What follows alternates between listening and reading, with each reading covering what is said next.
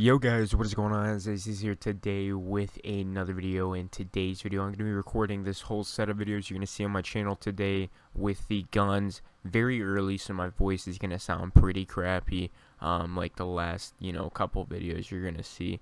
I apologize for that, but I really want to get as much content done as possible before the actual um, multiplayer beta goes live. So, every weapon you see here on the wall is going to be reviewed um, today on my channel. So if you're interested in any of these weapons, I'm going to be reviewing all of them on my channel. I'm going to be uploading one video per hour if I get all the videos done, including the pistol. So if that's something you're interested in to see all these weapons in action, I'm going to be doing them on this training course and the gauntlet that's back there. It's like a whole entire course. So I'm just going to be kind of showing you guys hip fire, aiming, you know, the um, snapping of the aim and everything in every one of these videos. So hopefully you guys enjoy these. Um, there's going to be a lot of content today and tomorrow, so I hope you guys are excited. So let's get right into it with the R201, probably my favorite assault rifle from Titanfall 2. Super accurate, um, probably my favorite gun, you know, just in the Titanfalls alone, and when I seen it returning, I was so happy. So it's a really good gun. As you can see, it's pretty accurate. Um, I have my sensitivity a little higher than default if it looks weird to you guys. Um, so, I'm really comfortable with it already. Like, it is just second nature with this gun. This is the only gun I used in Titanfall 1. And I would have to say already super impressed with the gun. And I'm super happy about it. So we're going to head to the gauntlet.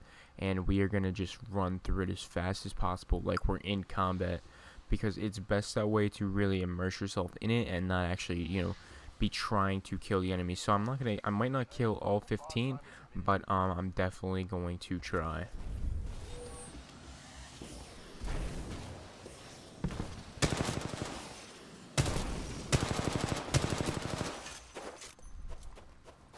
Violets have destroyed the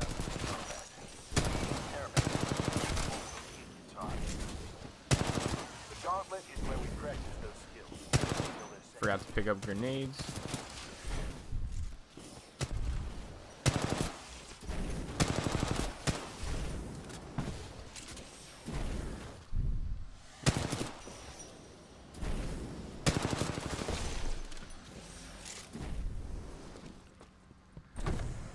And there we go.